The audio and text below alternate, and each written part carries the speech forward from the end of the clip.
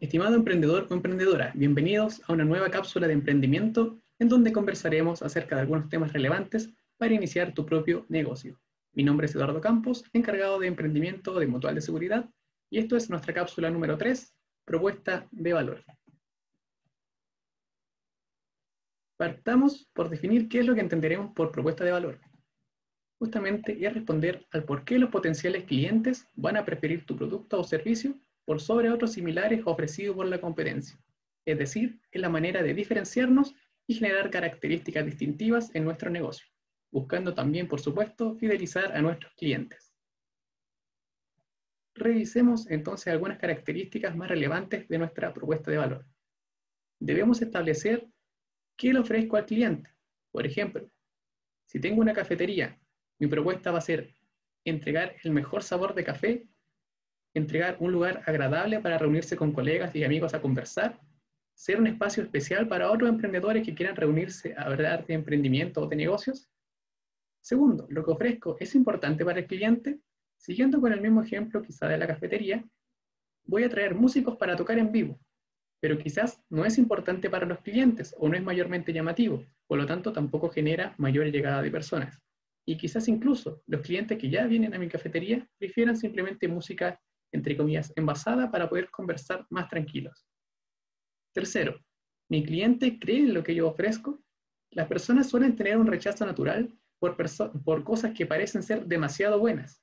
Se preguntan, ¿por qué esto es tan barato? ¿Por qué me ofrece terminar el trabajo tan rápido? ¿Será que lo hacen mal o no me van a cumplir?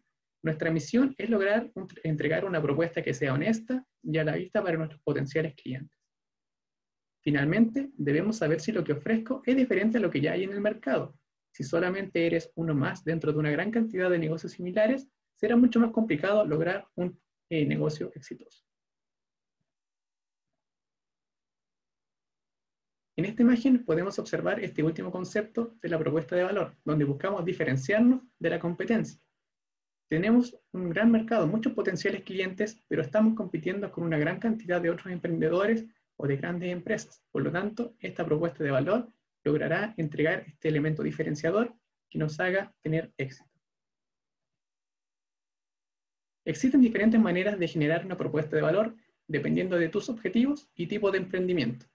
Vamos a explicar algunos, en este caso vamos a detallar solamente tres, pero existen al menos 10 tipos de propuesta de valor, entre los que se encuentran diferenciarnos por precio, por novedad, por calidad, por conveniencia, por marca estatus, por desempeño, por reducción de riesgos, reducción de costes, eh, por diseño o por customización. Partamos conversando un poco por diferenciarnos por precio.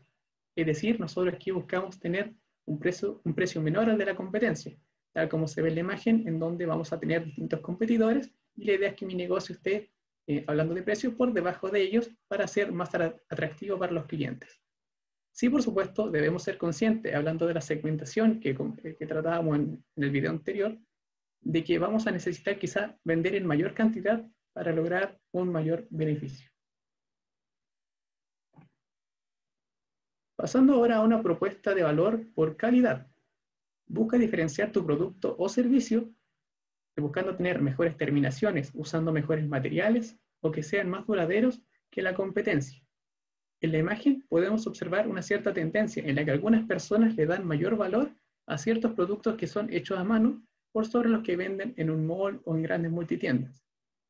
Debemos recordar, sí, que la calidad es un término relativo y depende de la percepción del cliente. Generalmente asocian mayor calidad con un mayor precio. En estos dos puntos podemos dar un ejemplo de los supermercados. El supermercado Jumbo y el supermercado Santa Isabel ambos son de Cencosud, sin embargo, tienen propuestas de valor distintas. Jumbo se enfoca en la calidad, buscando dar una percepción de mayor, en este caso, calidad de sus productos, en cambio Santa Isabel busca competir por precio, buscando darle las mejores ofertas a sus clientes. Pasemos ahora a conversar de la propuesta de valor por customización. Busca diferenciar tu negocio, tu producto o servicio por adaptarlo o personalizarlo según la necesidad o los gustos que tiene cada cliente. Aquí tenemos también un grupo de personas que le dan mucho valor a productos que se personalizan y lo vuelven único.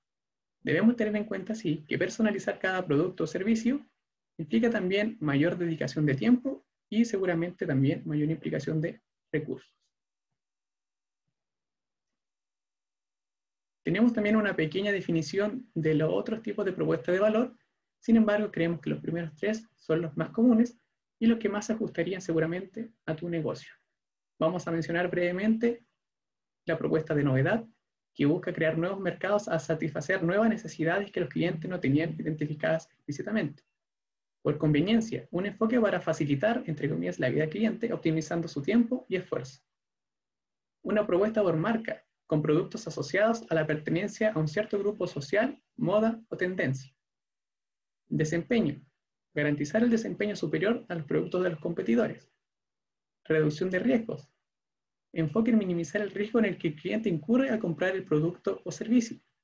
Reducción de costes, una propuesta de valor aplicada en mercados de empresa a empresa que busca ayudar a los clientes a minimizar sus costos. Finalmente, una propuesta por diseño que enfatiza el diseño justamente como elemento diferenciador de la empresa. Ahora es tu turno. Identifica cuáles de los tipos de propuestas de valor vistos se asemeja más a tu negocio Solicita tu guía de trabajo a tu ejecutivo de emprendimiento de Mutual de Seguridad. Con eso finalizamos nuestra cápsula de propuesta de valor. Nos veremos en una siguiente instancia.